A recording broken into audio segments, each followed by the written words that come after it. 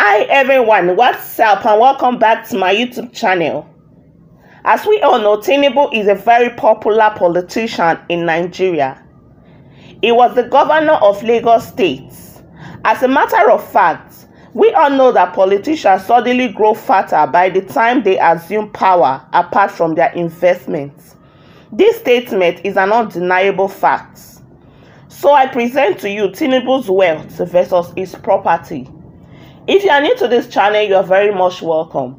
Please hit on the subscribe button to subscribe to this channel. Also turn on the notification bell icon so as to get notified on time whenever a new video is published. I would not forget to appreciate all my subscribers. Thank you very much for subscribing. Without wasting any more time, let's proceed.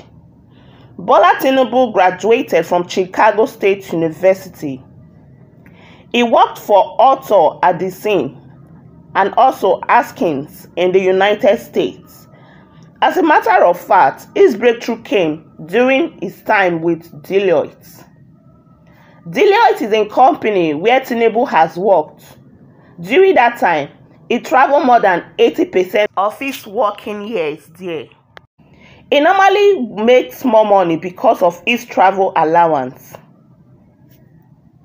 According to Tinubu, he said during his 64 years birthday, his account was credited in billions after returning from assignment in 2016. Millions were paid into his account after he helped the National Oil and Aramco in Saudi Arabia to set up an accounting and auditing system for a joint venture. His salary were also paid into his account and he did not touch it. At the time, his salary was rising to about $1.8 million. Tinubu has also made some fortune from importing rice and chemical into Nigeria in the year 1990s. Tinubu also claimed he got his source of wealth from the real estate inherited and turned the value around.